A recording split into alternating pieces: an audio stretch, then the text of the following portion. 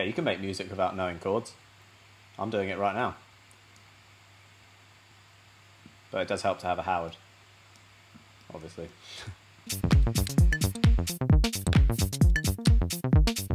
Is it illegal to have two bass lines? It's probably illegal in some parts of the world. Oh yeah, only 72 takes. wow. Yeah, I got carried away. Um, and I, ju- and I just asked him, is it cool if I sample your voice note? And he said, I'd be honoured. So um, here we go. He sent me a bunch, and I, there's only one that I want to sample. I think it will go great on the on the drop. Damn. Oh. Yes. Go on, Kerri.